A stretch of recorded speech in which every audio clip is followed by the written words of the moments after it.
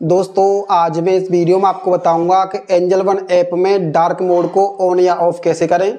तो इसके लिए दोस्तों, सबसे पहले आपको अपने मोबाइल फ़ोन में एंजल वन ऐप को ओपन करना है। एंजल वन ऐप को ओपन करने के बाद दोस्तों, आप नीचे की साइड में देखेंगे तो कोने में आपको वहाँ पर एक अकाउंट का ऑप्शन दिखाई देगा। आपको अकाउंट वाले ऑप्शन पर क्लिक करना है। जैसे दोस्तों, आप अकाउंट वाले ऑप्शन पर क्लिक करेंगे, आपके सामने कुछ इस तरीके से पेज ओपन होगा। अब दोस्तों, आपको यहाँ पर स्क्रॉल करके नीचे जाना है।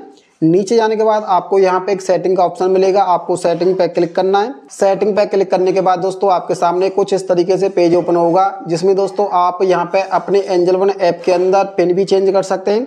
इसके अलावा दोस्तों, अगर आपके एंजल वन ऐप में फिंगर ऐड नहीं है तो आप यहाँ पे अपने फिंगर को भी ऐड कर सकते हैं। अगर आप अपना स्क्रीन लॉक चेंज करना चाहते हैं तो आप यहाँ पर वो भी चेंज कर सकते हैं। तो डार्क मोड लगाने के लिए आपको नीचे दिखाई दे रहा है ऐप थीम का ऑप्शन आपको ऐप थीम वाले ऑप्शन पे क्लिक करना है। अगर आपके एंजल वन में डार्क मोड पहले से लगा हुआ है तो आप यहाँ से उसे ऑफ़ कर देंगे। अगर डार्क मोड नहीं लगा है तो आप यहाँ से डार्क मोड पर क्लिक करके अपने एंजल वन ऐप के अंदर डार्क मोड लगा लेंगे।